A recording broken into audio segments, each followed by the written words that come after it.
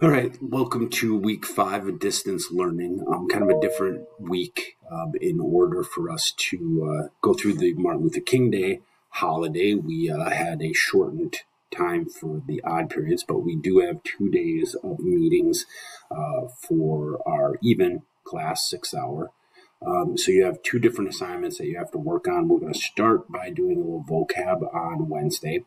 Um, so there's a vocabulary assignment here with a quiz that follows. I'm going to give you guys the start of class to work on this. Um, attached in order to find the vocab is the Quizlet for this unit on industrialization. On Thursday, we're going to start the class with a little discussion. Um, so if you're unable to make it to the Google Meet other the, either of those days, please make sure that you complete these.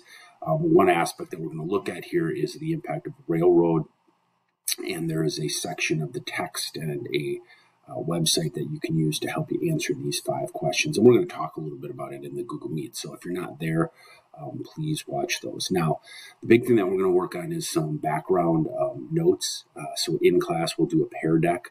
Uh, this will look a little bit different for you because it'll be a Google Doc assignment that will come up. Uh, you need to answer the questions in that Google Doc.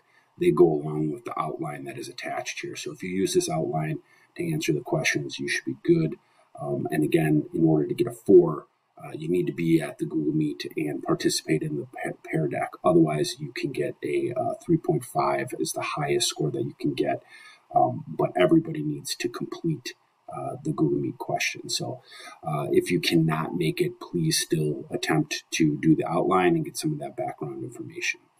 Uh, and that'll be it for the week. Uh, again, in order for your Friday attendance, you need to have this note taking assignment submitted. All right, that's it. Uh, we'll talk to you later. If you have any questions, please send me.